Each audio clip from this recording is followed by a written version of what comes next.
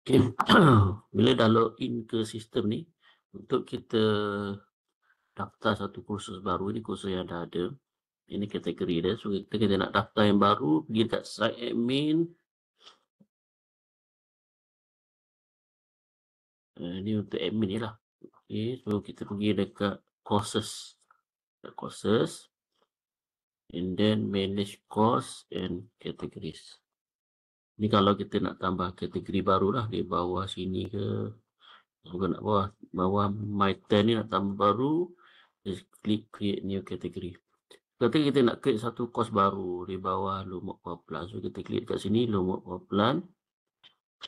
Okay, so ni adalah kategori dia. So kita create course. Create new course. So namakan course tu. Kan uh, CCGT.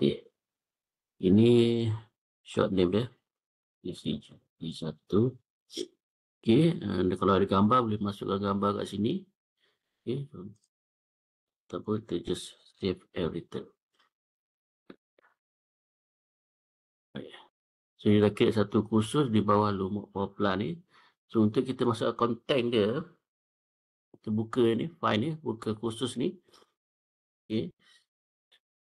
And then dia dekat bawah ni ambil view ni, ambil view. View.